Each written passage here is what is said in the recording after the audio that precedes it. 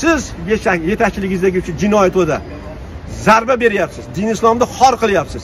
Mana din islom qanday rivojlanyapti? Mana qatarda hozir e, futbol musobaqasi boshlandi. Butun dunyo keldi. Mana qanaqangi qonunlar ro'yobga chiqarishdi? Qanaqangi qonunlarni ishlab chiqarishdi? Futbol musobaqasini milliardlab odamlar ko'radigan olti milliard besh milliard odam tomosha qiladigan futbol musobaqasini qur'on tilovat bilan boshladi. Ey prezident! Shavkat mirziyoyev siz bunchalik din islomni xor qilmang. Siz atrofingizda turganlar sizni qo'sh qo'llab quvvatlab turgan putin aka ertaga tugaydi. Assalomu alaykum aziz vatandoshlar. Mana o'zbekistonda bo'layotgan tayjiqlar o'zbekistonda bo'layotgan zo'ravonliklarni to'xtatish niyatida mana piketlarga chiqdik. Mana e, fransiyani ko'chalaridamiz hozir shavkat mirziyoyevning qilayotgan olib borayotgan siyosati ayniqsa shu diktatura siyosati butun o'zbek xalqini butun tashqarida yurgan o'zbek e, vatandoshlarimizni junbushga keltiryapti. Har xil jinoyatlar ko'p ochilyapti. Nohaqlar qamashlar sud tizimining adolatsiz hukmlar chiqarishlari e, bu narsalarga sabab bo'lyapti. O'zbekiston boshqaruvi mirziyoyev yetakchiligidagi bir bir to'da jinoiy guruh e, buni o'ttiz yildan beri bu narsa davom etib kelyapti. Ijtimoiy tarmoqlarda juda ko'p bir odamlarni noroziliklari kambag'allik oqibatida yosh navqiron yigitlarimiz farzandlarimiz nabiralarimiz bilib bilmasdan shunaqangi bir mayda bezorilik qilib o'g'irlik qilib shu narsalarga majbur bo'lyapti. Buning uchun albatta buni hammasidan shu boshqaruv sabab. O'zbekistondagi boshqaruv shu narsaga majbur qilyaptiki shu farg'onada o'n besh yoshli yigitni kuch ishlatar tizimi urib o'ldirdi. Buni bularni hammasiga bularni hammasiga bittagina o'sha kuch ishlatar tizimini o'sha e, vazirni almashtirib qo'yish bilanlar bunga yakun yashab bo'lmaydi. Bunga butun bir boshqarib turgan shu o'zbekistondagi boshqaruvni islohot qilish kerak. Hammasini isloh qilib hammasini iste'foga chiqarish kerak. Bittagina shavkat mirziyoyev yoki bir vazirni almashish bilan hech narsa o'zgarmaydi. Butun bir tek tegudan tizimni almashtirish kerak. Chunki tizim chirib irib o'sha narsaga yetib keldi. O'ttiz yildan beri o'tirgan o'sha e, generallar o'sha nimalar haligacha o'sha zulmini o'tkazib yotibdi bittasini almashtirgan ikkinchisi keladi baribir o'sha zulmni qilib yotibdi karim o'ldi karimov diktator dedik lekin karim o'lgandan keyin ham to'xtamayapti bu narsalar. Bu demak buni zaminida o'sha bir nimasida asosiy negizi shu shavkat mirziyoyevni yetakchiligidagi jinoiy banda. Ekan ular uchun biz iste'fo so'rashimiz kerak iste'fo talab qilishimiz kerak. Mana yosh yigitlarimiz o'sha siyosiy partiyalar birlashgan yoki bir siyosiy partiyalar qo'llab quvvatlagan xayrixohlik qilganlarni juda ko'pchiligi taqiqlarga uchradi blogerlar imzo berganlar bu narsalarga chek qo'yish kerak. Shavkat mirziyoyev siyosiy partiyalarga birlashayotgan siyosiy faollar bo'layotgan e, vatandoshlarimizga taqiqlaringizni bas qiling. Siyosiy faollar hech qachon. Siz aytgandek bu haligi o'ziz o'zingiz bizni dinimiz dini islomdan bir to'qmoq qilib yashab olib jinoyat yashashga bas qilib bu hammasi e, o'zbek xalqi ko'rib qo'yishi kerak. Buni hammasi bizni ziyonimizga bizni o'zbek xalqini gardaniga tushadigan narsalar o'sha kelib ketishlar oilaviy bir maishlar maishiy ishrat ayshiy ishratlar hammasi sizni oilangiz bilan birga kelishingiz. Bu hammasi xalqimizni boshiga tushadi. Xalqimiz buni ko'rib qo'yishi kerak. Bunaqangi bir tazyiqlarni to'xtatish kerak. Mana men oddiy bitta o'zbek ayoliman o'zbek onasiman.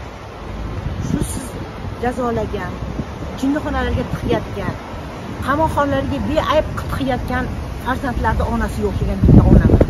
Nima haqqingiz bor bularni bunaqa qilishga o'sha onalar sizga shunday mard elim yurtim deydigan qalbi toza oydinlarni tug'ib katta qilib qo'yibdi. Nima o'shalardan foydalandingiz oldingizga chaqirib o'zingizga xalqni boshqarishda o'zbekistonni gullab yashnashida hissasini qo'shishni xohlamaysizmi?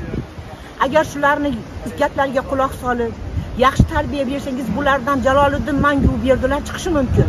Nimaga shularni bilmaysiz? Nimaga shulardan ko'z yumasiz? Qadagi din islomni o'zlariga niqob qilib olgan mullalarni gapiga kirib yolg'ondan gunohlarni qo'yib ularga jazolaysiz nimaga qamaysiz? Siz kimsiz? O'zbekistonni rahbarimisiz?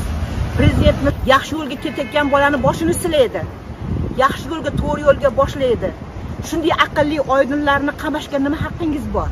Bularni yaxshi tarbiya berib el yurtni yuzaga chiqarsangiz dunyoga dong'i ketgan insonlar chiqadi. Bilasizmi? Butun dunyoda yurakka birinchi o'rnatgan o'zbek bo'ladi. Shunaqa o'zbeklar chiqishini xohlamaysizmi? Nima haqqingiz bor bularni bunaqa jazolashga? Tazyiq qilishga nima haqqingiz bor? Abdumanob ahadovni nima aybi bor? Nima aybi bor? Siz nimaga unga siyosiy baho berib qamashga qo'rqdingizmi? Nimaga diniy islomni peshvo qildingiz unga dini islomga o'rgangan bo'lsa ollohdan qo'rqsa yomonmi? Siz jinoyatchi yasamang musulmonlardan o'zingiz jinoyatchisiz. O'zingiz keting o'zbekistondan dini islomni to'qmoq qilib dini islom to'qmoq qilib har bir e, nimalarda e, endi bir yosh e, masjidda madrasalarda o'qib tolibiy ilm bo'layotganlarni juda ko'pchiligi hozir ijtimoiy tarmoqlardan foydalanadi. Ularda albatta shunaqangi bir ma'ruzalar chiqishi tayin. Bu narsa bu narsa. Mana malakalashmagan jinoyat kodeksini o'zlaringlarcha bir fabrikovat qilib olib o'sha bir kelishib olib qonunchilik palatasi bilan qonunlarni kirgizib olib musulmonlarni jazolayapsizlar. Siz musulmonmisiz kimsiz siz? Shavkat mirziyoyev siz o'zbekistonda o'zbekistonda. Mana kelganiga qancha bo'ldi? Nimaga musulmonlarni jazolaysiz? Nimaga dini islomni to'qmoq qilasiz? Nimaga boshimizga islom bilan urasiz? Nega haqqingiz bor? Nimaga haqqingiz bor? Axir siz falastinda bir ijarada turgan yahudiy emassizku falastinda ijarada yashayotgan yahudiylar shu ishni qilyapti. Siz ham yahudiymisiz yo? Dini islomga bunchalik ozor bermang bunchalik qaqshatmang. Hattoki karimov paytida ham bunchalik dini islom xor bo'lgan emas edi. O'sha sizni atrofingizda yurgan bari mullalar mullalar. O'shalik chala mullalar. Faqat dini islom bilan jazolash bilan ovora.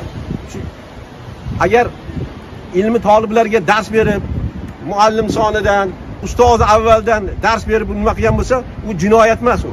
Qur'onni shundan boshlanadi.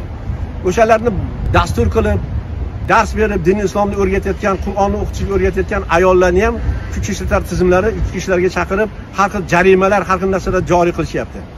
Bu din islomga siz yetakchiligingizdagi shu jinoyat o'da zarba beryapsiz. Din islomni xor qilyapsiz. Mana din islom qanday rivojlanyapti? Mana qatarda hozir futbol musobaqasi boshlandi. Butun dunyo keldi.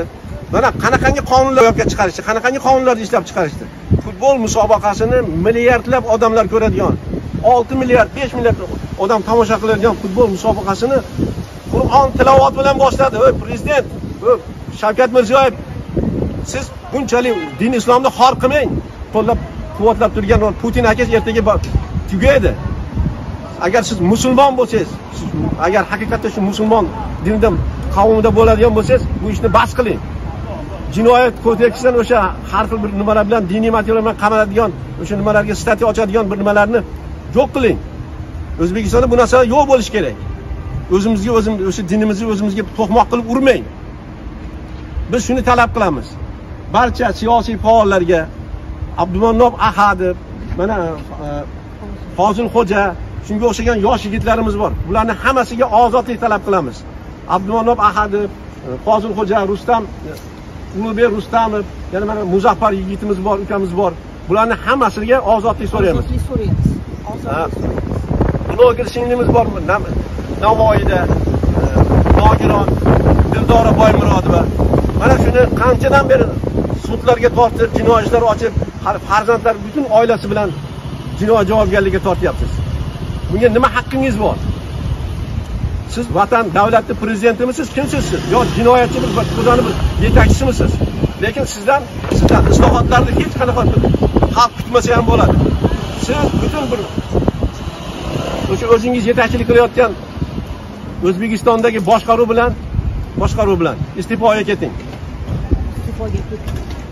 Iste'foga ketishini talab qilamiz